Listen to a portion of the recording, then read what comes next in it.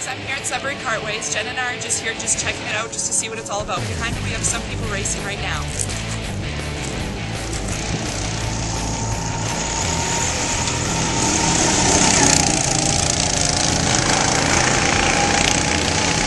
Sudbury Kartways offers one cart or two-seater carts.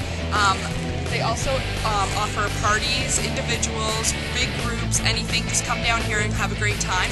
Over here we have also a mini putt. They also offer a mini putt, so you can come down here and do a couple holes of mini putt while you go go karting, or just just decide to just come down here for a great day of mini putt.